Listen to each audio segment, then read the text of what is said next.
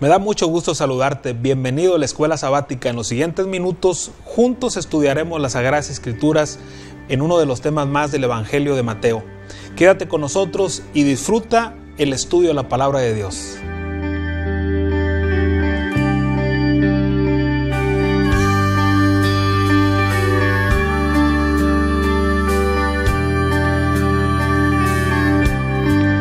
Muchas gracias por permanecer con nosotros. Estamos en la Escuela Sabática Universitaria. Es un gusto que podamos estudiar con estos jóvenes, meditar en la palabra de Dios.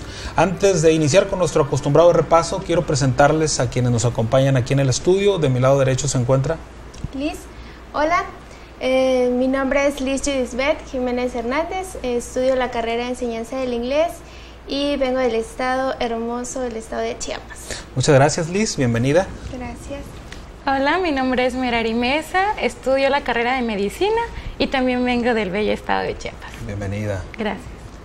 Eh, mi nombre es Misraim Rodríguez, eh, vengo del estado de Quintana Roo y estudio la carrera de químico clínico biólogo. Gracias Misra. Bueno, ¿qué les parece si antes de iniciar con el repaso oramos? Voy a pedirle a Misra que por favor nos guíe en oración. Ok, vamos a orar. Padre nuestro que estás en los cielos, te damos muchas gracias, Señor, por tus grandes bendiciones, por este día que tú nos has dado. Ahora que vamos a comenzar este repaso de la lección, Señor, que tú puedas estar con nosotros, que tu Espíritu Santo nos ilumine, Señor, y que todo lo que vayas a comentar, que sea de bendición para nosotros. En nombre de Cristo Jesús. Amén. Muchas gracias, Misra. Que todo lo que vayamos a estudiar sea bendición para nosotros y también para nuestros queridos televidentes que nos siguen eh, cada semana a través de la señal del el canal Esperanza TV. Ídolos del alma es el título de la lección número 9 de este trimestre del Evangelio de Mateo. Sálvanos, hijo de David. Hemos estado estudiando diferentes partes de este Evangelio que sin duda han sido de gran bendición. Pero hoy toca hablar del aspecto humano, cómo nosotros, influenciados por lo que está a nuestro alrededor, tomamos decisiones que a veces afectan nuestra vida espiritual e incluso a veces afectan a los que están a nuestro alrededor, porque nadie puede negar que lo que está a nuestro alrededor, la cultura, la música, el medio ambiente, tiene un impacto en nuestras vidas. Pero hay algo muy importante que nosotros debemos de recordar. El cristiano se alimenta con la palabra de Dios. Esa palabra nos guía y nos ayuda no a seguir las tendencias de la cultura que está a nuestro alrededor. Eh, nos ayuda a hacer la voluntad de Dios. Surge una pregunta o varias preguntas en los diferentes textos, varias declaraciones muy poderosas. Mateo 18.1 aparece la primera pregunta en el versículo de memoria o el versículo, el versículo que se nos da para memorizar, en aquel tiempo los discípulos vinieron a Jesús diciendo, ¿quién es el mayor en el reino de los cielos, Misra? ¿Cómo podemos contestar ante esta pregunta? El Evangelio la contesta, pero ¿cómo la podemos contextualizar hoy? Ok, eh, yo creo que aquí mismo en los versículos de 1 al 4 da la respuesta, ¿no? Donde está la verdadera grandeza y allí eh, Dios destaca algo especial y saca la luz a, un niño. Podríamos decir, porque un niño es un ser muy pequeño, pero si nosotros analizamos la conducta de un niño, un niño no le preocupa el que va a pasar mañana, el que va a comer, lo que va a vestir. Él simplemente despierta con alegría, con sonrisas y creo que ahí está nuestra verdadera grandeza, ¿no? De vivir siempre confiados de que hay algo preparado para nosotros, porque un bebé está confiado de que papá y mamá le van a dar lo que él necesita. O sea, no le preocupa eso. Entonces, la grandeza de hacernos como él, como ese niño, de humillarnos tal cual, no sé, creo que ahí hay un elemento importante para eso. Gracias. La grandeza de la humildad. Claro, yo creo que una de las cosas que caracteriza a una persona humilde también es la obediencia, que nosotros podamos humillarnos ante Dios y dejar que Él obre en nuestra vida. Creo que esa es una de las cosas principales. Sí, tenemos que entender que las normas humanas no reemplazan los requerimientos celestiales, porque la grandeza genuina la determinan las enseñanzas de nuestro Salvador Jesucristo y no las normas humanas. Y es que Él fue nuestro ejemplo a seguir cuando hablamos de humildad, porque Él estando en el trono, en su trono sentado allá en los cielos, vino aquí a la tierra, un lugar que básicamente no, no se merecía, sino que Él vino, se humilló a sí mismo y murió por cada uno de nosotros y nos, nos otorgó esa salvación y ese ejemplo a seguir. Pues el ejemplo de Jesús marca la diferencia en, en, la vida del creyente comparado con aquel que deja llevarse o se deja llevar por, por lo que le rodea. ¿no? Nosotros lo podemos ver, eh, la gente está en búsqueda de obtener riquezas, lujos, placeres, y algunas de esas cosas no son malas en sí mismas. El detalle está en que la persona invierte toda su fuerza, toda su inteligencia, se olvida incluso de sus seres queridos, de su misma persona, en la búsqueda del placer, en la búsqueda de un estatus y afecta su vida espiritual, incluso afecta pues todo lo que está a su alrededor. Yo creo que mucho tiene que ver cómo contextualizamos la grandeza, porque nuestra sociedad nos ha mm, vendido la idea eh, de títulos, propiedades, riquezas, siempre en busca de más y más. Pero en sí la grandeza yo creo que podríamos usarla eh, como la de la que Dios nos enseñó. De la forma en la que Él la, usó. De la forma. Hay, hay algo interesante, ¿no? Eh, el, a veces uno o alguien pudiera tomar esto literal, ¿verdad? Porque hay quienes a veces hacen eso y empiezan a actuar como niños. Porque el texto dice, de cierto os digo que si no os volvéis y os hacéis como niños, no entraréis en el reino de los cielos. Y la pregunta, ¿qué persona no desea entrar al reino de los cielos, verdad? Si tú estás buscando a Dios, pues tú sabes que una de las promesas es que Él vendrá por ti y, estará con, y estaremos entonces con Él por toda la eternidad. Y entonces dices, pero ¿cómo? ¿Qué significa volverse? Bueno, volverse como niños, realmente lo que se aplica aquí es una conversión muchas veces nosotros con los años, con la edad, nos hacemos duros, eh, insensibles, violentos y, tenemos una actitud que a veces no es, no es muy apropiada, pero el Señor nos pide que nuestra que, haga, que, que, exista una conversión a través del Espíritu Santo en nuestros corazones y entonces nuestra actitud va a ser como tú lo mencionaste, eh, hay contentamiento, hay felicidad, hay perdón, cosas que suceden en un niño, que, son muy, muy peculiares en un niño. Eh, ellos se pueden pelear ahorita y en cinco minutos están jugando otra vez. Entonces, el, Señor requiere que usted y yo tengamos un corazón eh, que esté siempre receptivo a la voz del Espíritu Santo. Grandeza bíblica. ¿Qué más podemos ahondar en esta parte, Misra? Eh, más que nada es el carácter en el que, o sea, podemos nosotros, eh, no es tomarlo de forma literal, así como usted lo decía, sino más en, nuestro carácter, en lo que nosotros hagamos. Nosotros podemos ser sencillos, nosotros podemos este, hacer, bueno, Dios nos ha dado muchos dones de los cuales nosotros podemos servirle. Y ahí es creo que una, es un poco difícil, por ejemplo, eh, ejemplo, la música, ¿no? En el caso de que uno canta o uno toca algún instrumento, ¿no?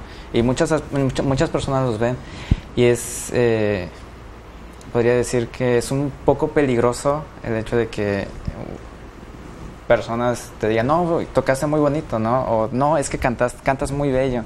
Y tú te sientes así que no, pues no, pues sí, no, yo exacto, ¿no? Entonces la grandeza cae sobre nosotros. Exacto, entonces dejamos de honrar a Dios. Ajá, debemos de tener cuidado con eso, no, pues pensar de que no, pues Dios da mi talento, y yo solamente soy un, instrumento, para él. Y la honra y la gloria es para él. Exactamente. Eh, e, estos pasajes de Mateos nos, nos presentan detalles muy interesantes, ¿verdad? Eh, ¿Quién es el mayor, verdad? Cuando Muchos buscan que su nombre aparezca en los periódicos, en las redes sociales. Es más, hay quienes se pelean para ver quién tiene más, likes en su foto, ¿verdad? y lo mismo lo hacen en, una red social o se mueven a otra. E incluso, ah, yo tengo 100 likes más, más, más que, que, tal persona, ¿no? Pero más allá de eso, el, Señor nos muestra la realidad eh, de cómo nosotros podemos tener plenitud en la vida. Eh, cuando el ser humano que no, que, que, no tiene a Dios como lo, lo, lo, primero, este, está desesperado por buscar reconocimiento, el Señor te dice, no, hijo mío, tienes que ser humilde, tienes que ser humilde. Eh, ¿Qué ejemplos podemos tener de la humildad?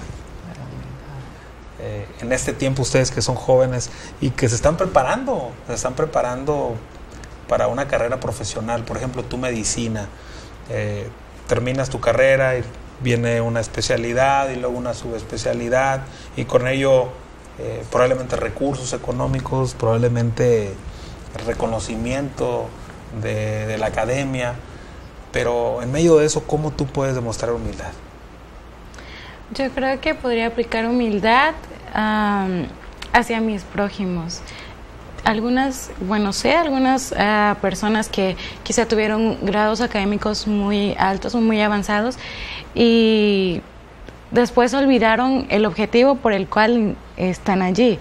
O sea, pierden el rumbo y después eh, desconocen o tratan mal a las personas que quizá en algún momento estuvieron allí y fueron parte de un sueño. Se olvidan de, Se de olvidan. dónde vienen, ¿verdad? Y el propósito de la profesión que es ayudar y curar, eh, humanamente hablando, ¿verdad? Exacto.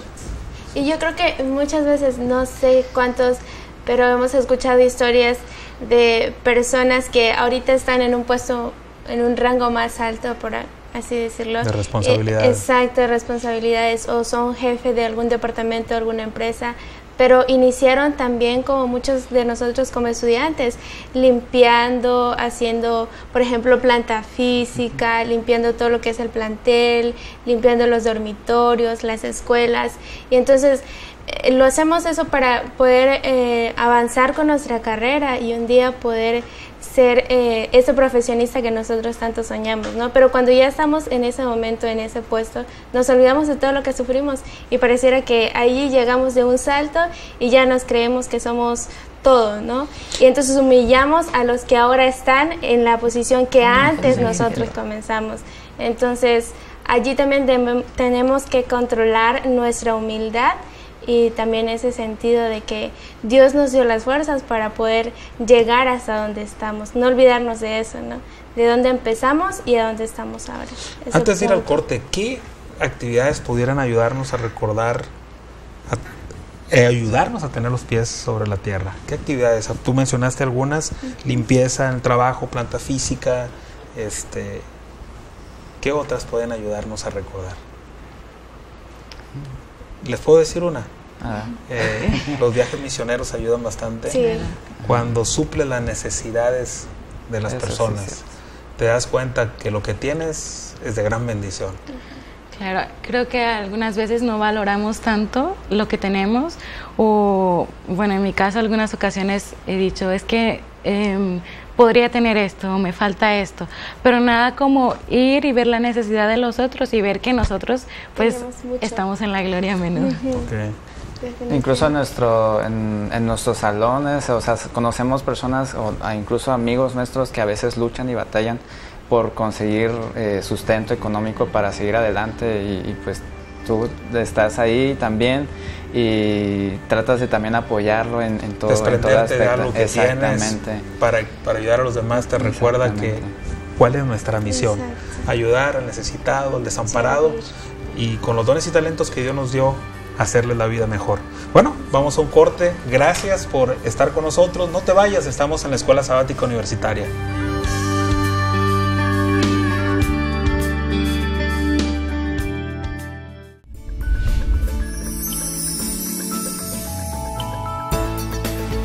Vidas que educan.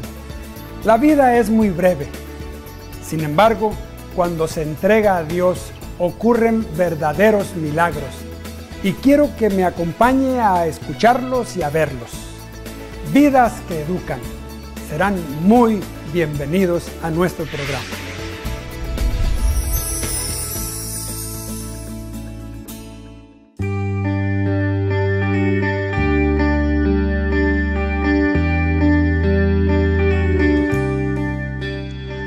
Muchas gracias por quedarte con nosotros. Estamos en el repaso de la Escuela Sabática Universitaria.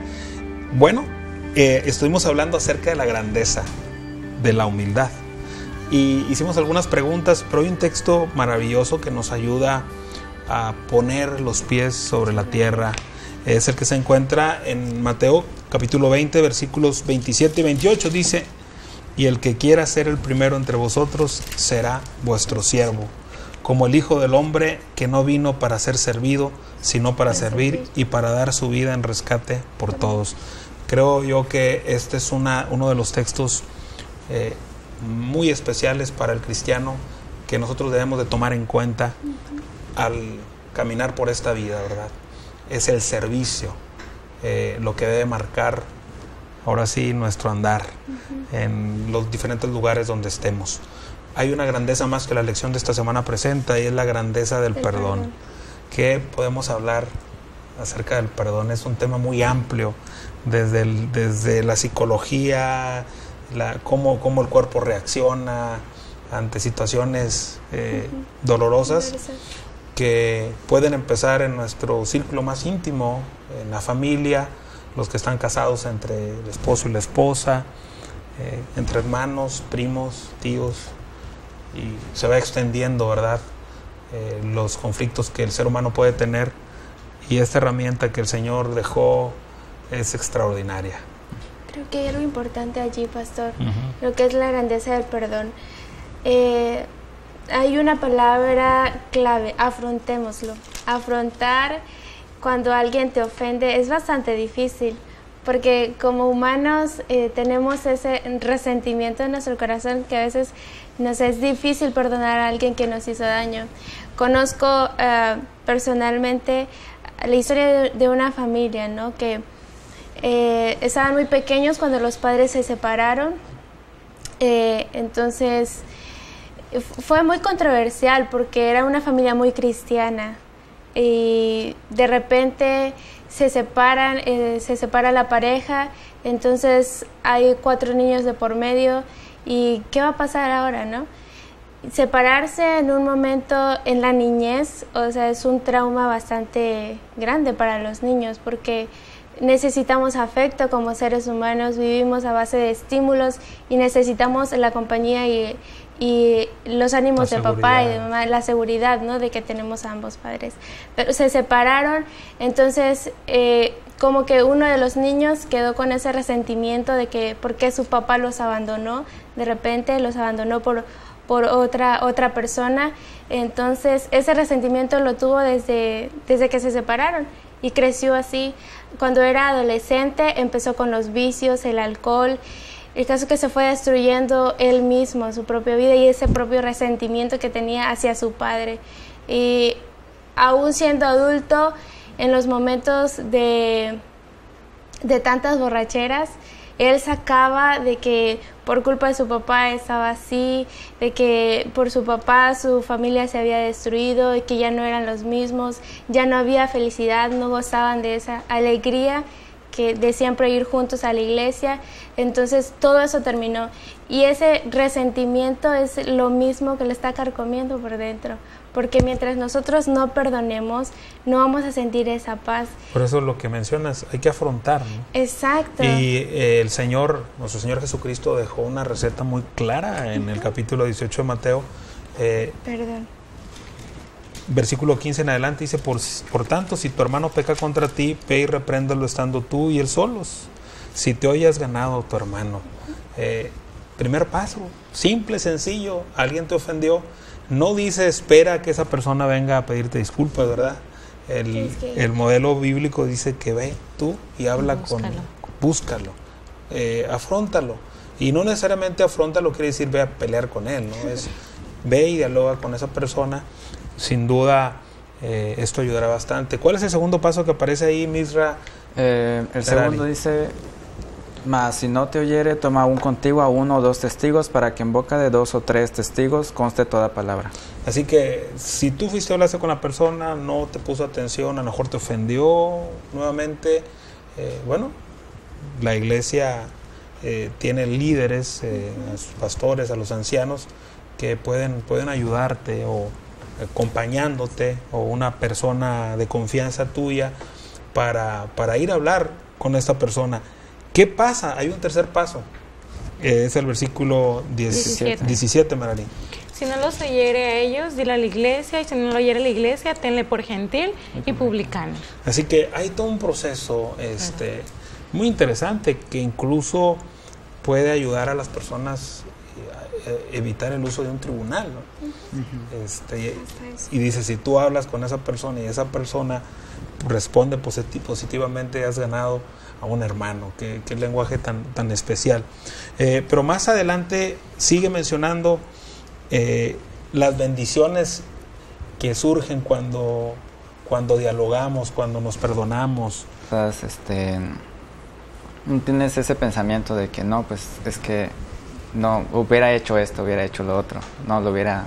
Entonces, es, es muy, muy grande esta, esta grandeza.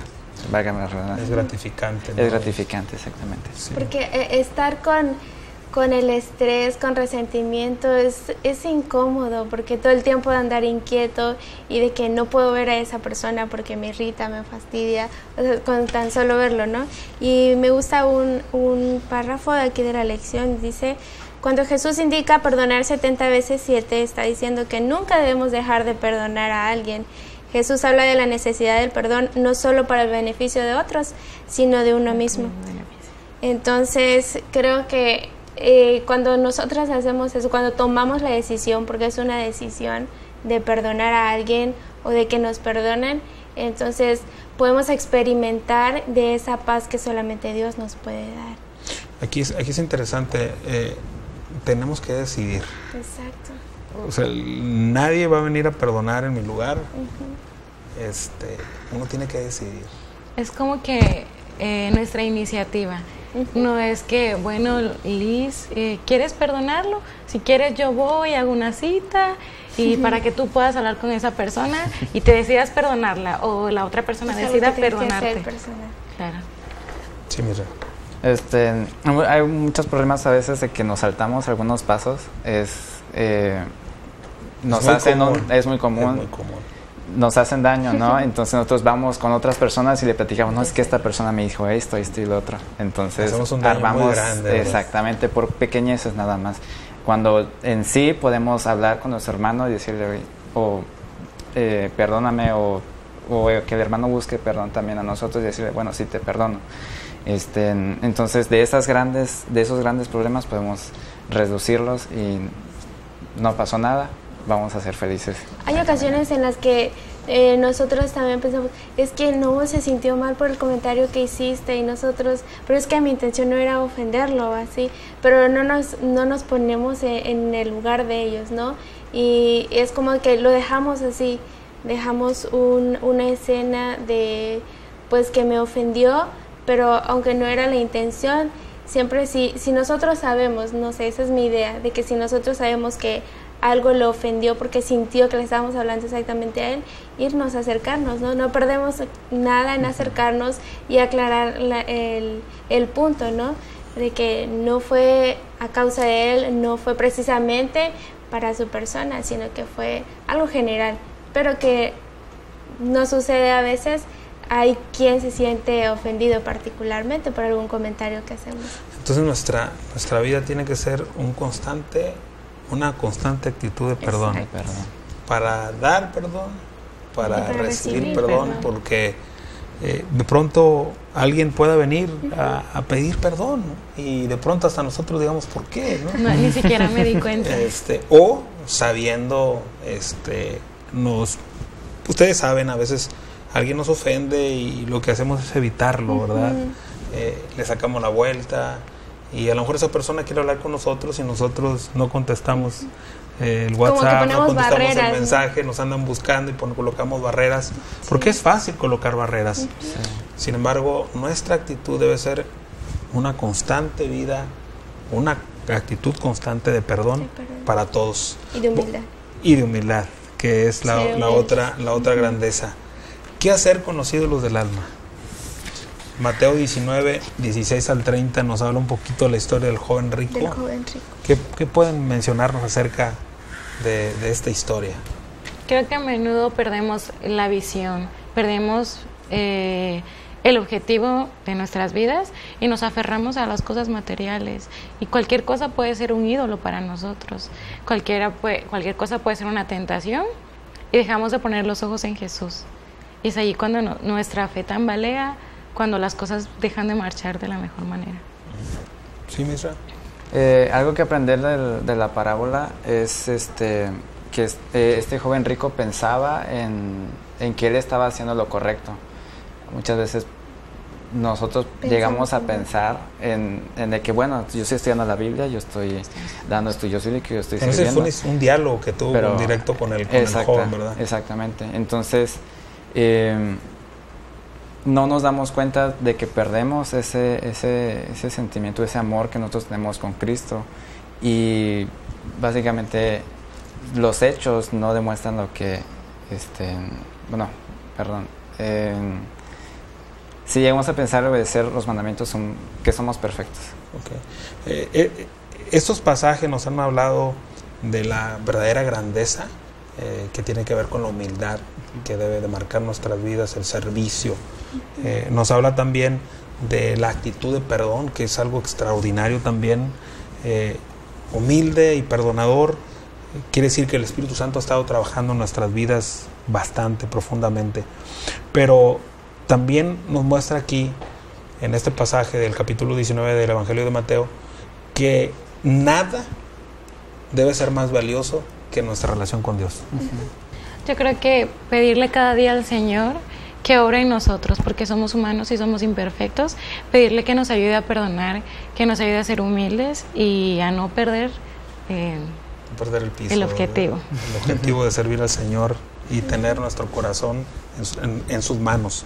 Sí, Liz. Creo que es importante no olvidarnos de que somos pecadores y somos seres imperfectos, que somos creación y que por lo tanto necesitamos de nuestro Creador. Entonces, si nosotros reconocemos eso y buscamos diario a nuestro Creador que es Dios y pedirle humildad, yo creo que Él nos lo va a dar. Ver la necesidad de alguien más y ayudar en esa necesidad, también es como nosotros vamos a crecer como cristianos y nos daremos cuenta del infinito amor que Dios tiene para nosotros. Pues muchas gracias por haber estado con nosotros en esta, en esta lección. Queridos, gracias por habernos acompañado. Sin duda, esta lección nos recuerda principios importantes de la vida cristiana que si tú y yo los practicamos vamos a ser de gran bendición para los demás, pero también va a ser de gran bendición para nuestras vidas. Nos vemos la próxima semana en la Escuela Sabática Universitaria.